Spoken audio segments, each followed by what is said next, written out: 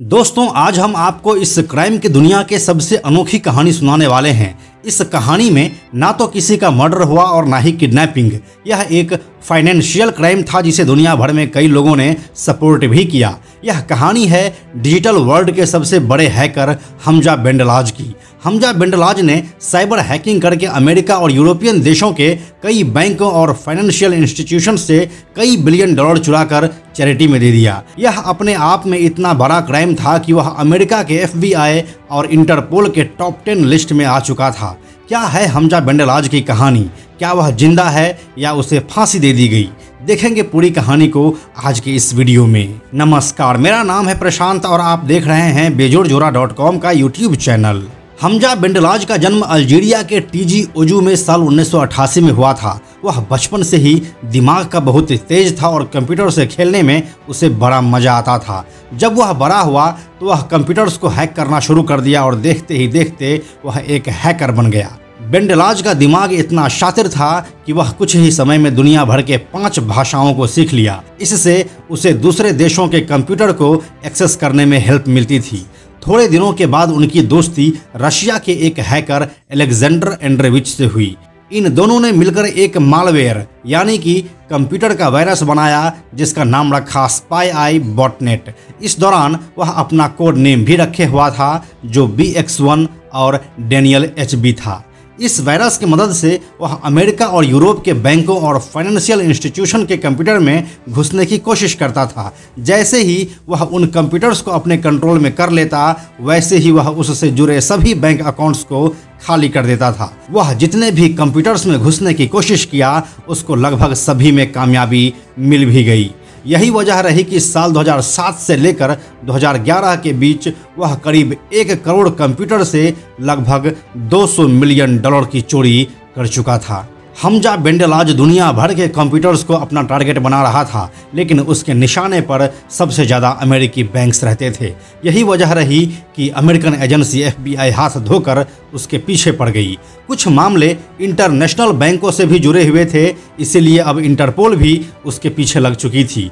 यह मामला सनसनीखेज होता चला गया और अब हमजा बेंडलाज एक हाई प्रोफ़ाइल क्रिमिनल बन चुका था। 7 जनवरी 2013 को हमजा अपने बीबी और बेटे के साथ मलेशिया से इजिप्ट जा रहे थे। उनके फ़्लाइट का बीच में बैंकॉक में कुछ घंटों का लेओवर था, जहाँ बैंकॉक के एयरपोर्ट पर वह अपनी फ़्लाइट का इंतज़ार कर रहे थे। उसी समय थाईलैंड पुलिस को उसके हमजा होने का संदेह हुआ और उसे गिरफ़्तार कर लिया गया। अपनी गिरफ्तारी के समय हमजा ने किसी तरह का कोई विरोध नहीं किया और आराम से गिरफ़्तार हो गया। ऊपर से वह अपनी बीवी को बोला कि वह बेटी को लेकर इजिप्ट चले जाए। इसके बाद उसकी बीवी और बेटी इजिप्ट चली गई। अपनी गिरफ्तारी के समय उनके चेहरे पर मुस्कान थी और वह हंस रहे थे। दुनिया भर के मीडिया ने इस क्षण को अपने कैमरे में कैद कर लिया और उसे स्माइलिंग हैकर या हैप्पी हैकर का नया निकनेम मिला। जब पूरी तरह से इंटरपोल और एफबीआई द्वारा उसे आइडेंटिफाई कर लिया गया कि यही हैकर हमजा बेंडलाज है तो इसके बाद मई 2013 में उसे थाईलैंड से प्रत्यर्पित करके अमेरिका लाया गया। ऐसा इसीलिए क्योंकि उसके मैक्सिमम मामले अमेरिका में ही थे। अमेरिका के अटलांटा में उसके ऊपर मुकदमा चलाया गया, जहाँ उसे 25 जून 2015 को दोषी ठहराया गया और हमजा ने भी अपना जुर्म कबूल कर लिया। हमजा बेंडलाज को 30 साल तक की जेल और 14 मिलियन डॉलर जुर्माने के रूप में चुकाने की सजा दी गई।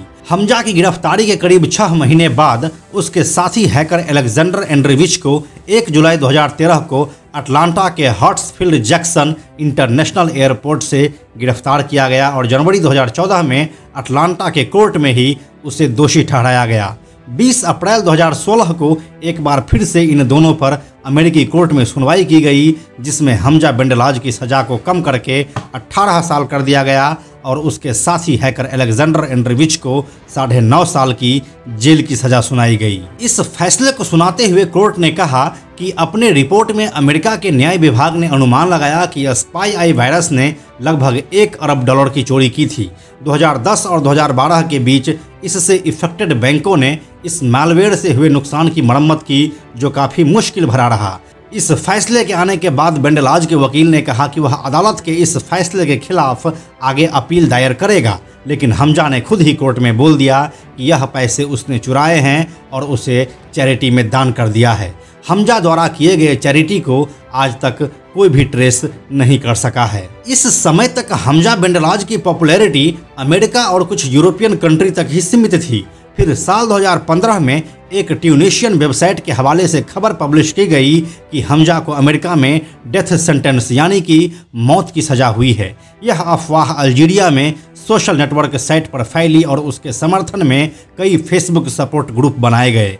इस मामले में अल्जीरियाई विदेश मंत्रालय ने उस समय के अमेरिकी राष्ट्रपति बराक ओबामा से उनकी रिहाई के लिए हस्तक्षेप करने की मांग करते हुए एक याचिका शुरू की। जब यह खबर दुनिया भर में हेडलाइन बनाने लगी, तब जाकर अल्जीरिया में अमेरिकी राजदूत जोन ए पोलाशिक ने अपने ट्विटर अकाउंट पर लिखा, कंप्यूटर अपराध को अभी तक बड़े अपराधों में शामिल नहीं किया गया है और इसके लिए मौत की सजा नहीं दी जा सकती है। इसके बाद मामला शांत हुआ।